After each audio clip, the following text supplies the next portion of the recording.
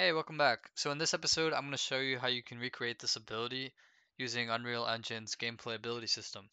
Okay, so the first thing I did was add new entries to our ability ID enum, ability 1 through 5, in case we want to have multiple abilities. Okay, and then I bounded ability 5 to key M. So if you go to your project settings, input, you have to create action mappings for each one of your entries here.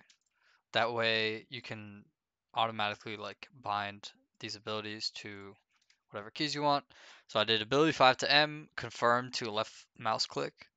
That way when I hit play, if I press M, it starts the ability. And if I press left click, it'll confirm to cast the ability. Basically, how this works is in our player character, we call this function here bind ability activation to input component. And this essentially uh, will associate this enum that we made. See, this is the same name as over here.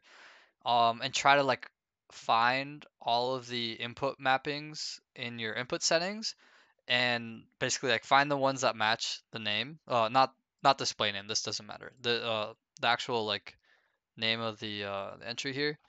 And basically yeah just bind those keys to those abilities. And then of course confirm and cancel are special ones.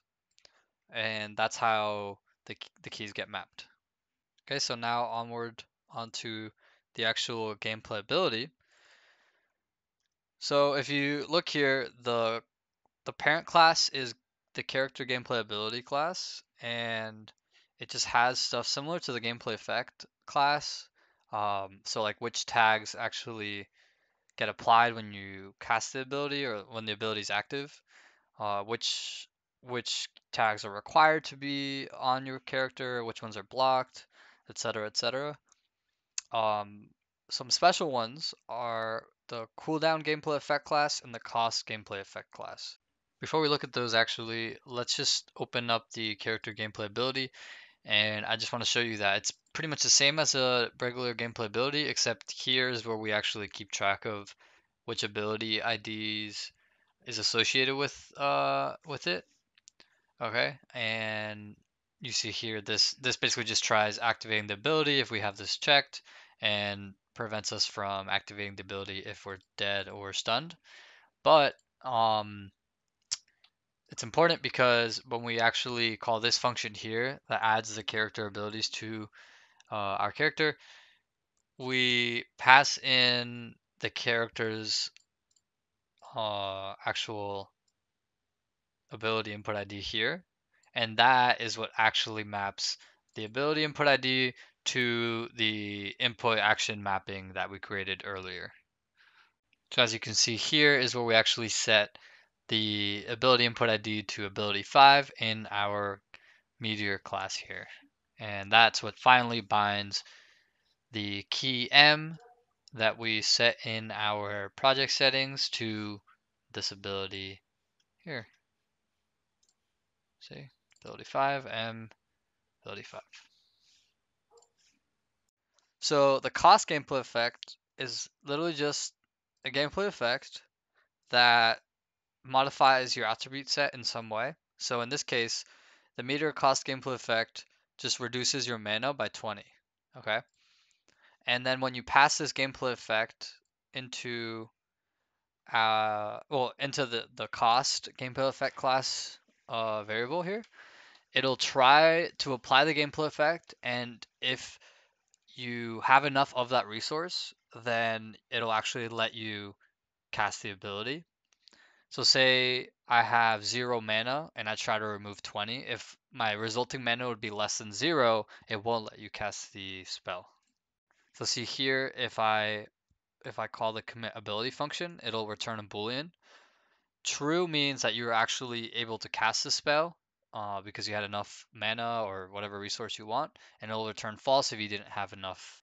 And this other one, the cooldown gameplay effect class, is also very simple and it's literally just a gameplay effect that has a duration and a tag like this cooldown.skill.ability5 and basically the gameplay ability class just knows that if you have this tag on you, then you won't be able to cast this spell. Alright, so for the actual functionality of the gameplay ability class, you have to first override the activate ability um, event callback, and then we get the character who casts a spell.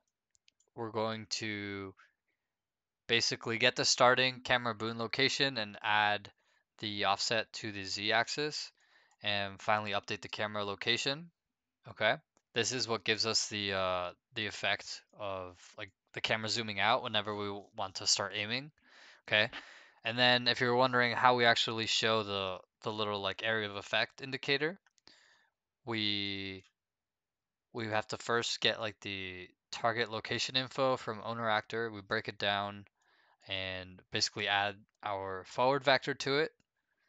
That way we start by spawning the indicator right in front of our character. Okay, and then we call this special function called wait target data. And this will basically spawn in a gameplay ability target actor, which is that indicator that you saw.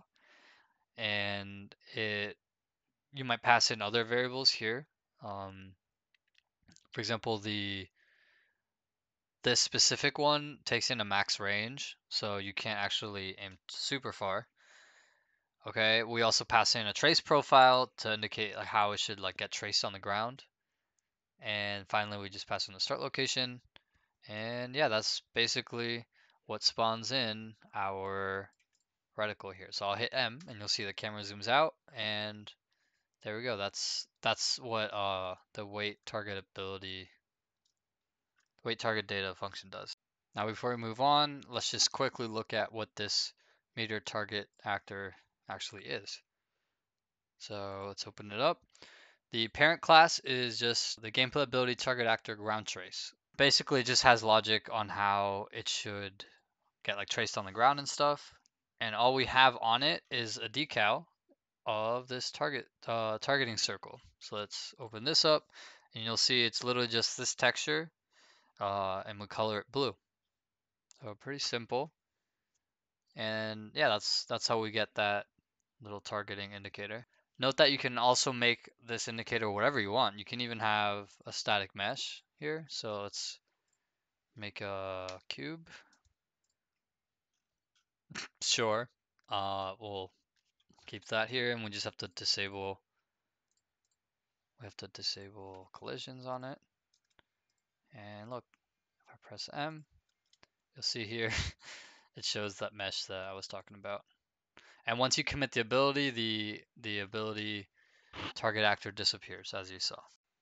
Alright so now that we've spawned in our ability indicator and the user confirms where they want to target their, their ability. We get the, the target data, we commit the ability, right? If we didn't have enough resources, then we're going to cancel it. Finally, we're going to ensure that the, the player has authority. Uh, in other words, you know, it's, it's a server and it can actually like cast the ability on the server. And if you're not the server, then just end the ability. And if you are, it's going to basically create a gameplay effect spec for the damage effect, and we're going to make one for the stun gameplay effect. And then we're going to pass those into here. Because as you can see, all this is doing is actually spawning that meteor that you saw. So see BP meteor, we pass in the spawn location by getting the target data, right? Then you're going to break it up, get the location, add some height to it so the meteor spawns above that spot. And yeah, you're going to pass in the damage and stun effect spec handles. And finally, we're going to end the ability. Also note that when we call commit ability, we're actually subtracting the resource and starting the cooldown. But anyway, let's now look at this class here, the BP meteor. This is what actually gets uh, created when you commit the ability. So as you can see here, it's very simple. It's just a sphere collider with a projectile movement component. And this is what drives it uh, downward essentially.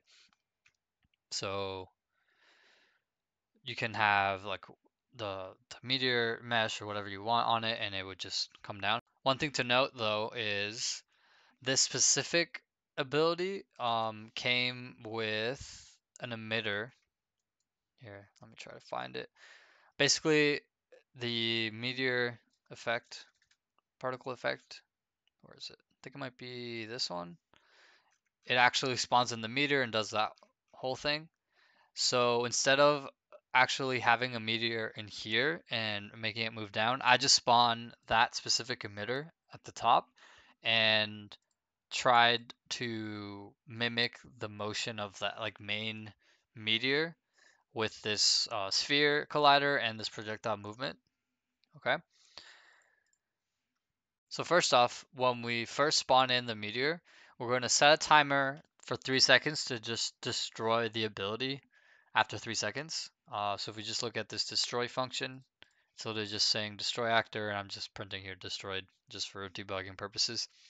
And then finally we spawn in these three particle emitters. So this one is the like the actual like meteor. This one here is the portal. And this one is like those little comets coming down. All right, so if I'll play it, you'll see what I'm talking about. See, those are like the comets and the portal and the actual meteor.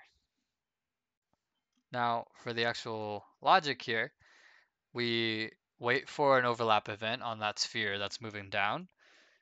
We try to find collisions with any of these three things, and if we detect one, we're going to